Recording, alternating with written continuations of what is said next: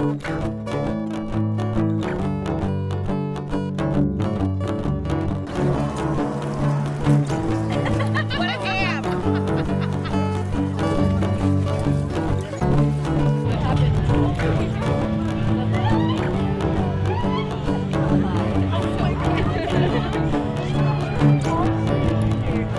husband here brainwashed me with pictures of corgis for about a year and a half.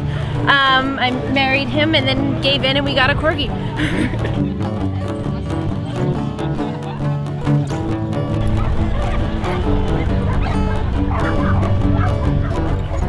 My name is Kelly McLemore and my husband Dan and I started this event informally about five years ago. We just wanted an opportunity to meet other Corgi owners so we took our dog Mr. Pickles to the beach. Um, he had gone through some surgeries so we hadn't been able to take him out for a while.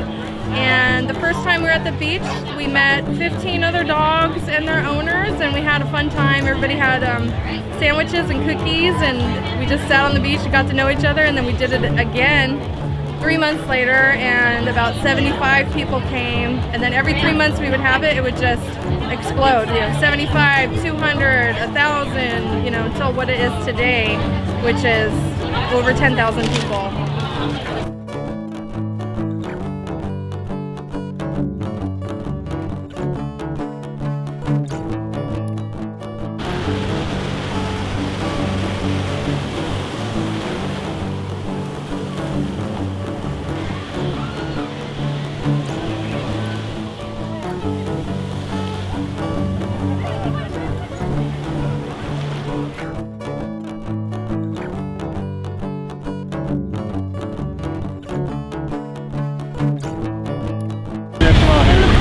Two corgis and we're from Dallas, Texas.